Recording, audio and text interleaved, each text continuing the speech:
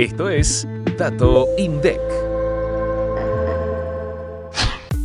Durante el segundo trimestre de 2024, la encuesta permanente de hogares, la EPH, reveló que el ingreso promedio per cápita del total de la población alcanzó los 289.562 pesos. Entre la población que percibe ingresos, que representó el 62,4% de la población total de la EPH, se registró un ingreso medio de 458.474 pesos. La brecha de género del ingreso medio de la ocupación principal entre varones y mujeres fue de 27,4%. El coeficiente de Gini del ingreso per cápita familiar de las personas fue de 0,436 durante el segundo trimestre de 2024, mientras que en el mismo trimestre del año anterior el valor había sido de 0,417, es decir que aumentó la desigualdad en la comparación con respecto a igual periodo del año pasado. Al dividir a los hogares según su escala de ingresos per cápita familiar en deciles, es decir, en 10 partes iguales de manera que cada grupo tenga la misma cantidad, el de mayores ingresos concentró el 24, 5% del total, mientras que el de menores ingresos el 3%.